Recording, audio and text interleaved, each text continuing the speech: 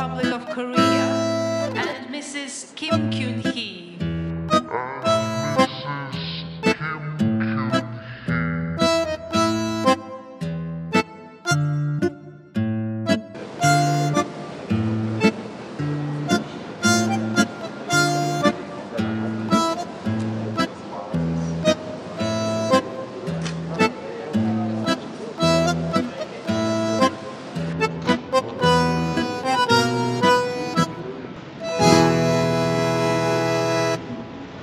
the Honourable Anthony Albanese, Prime Minister of the Commonwealth of Australia.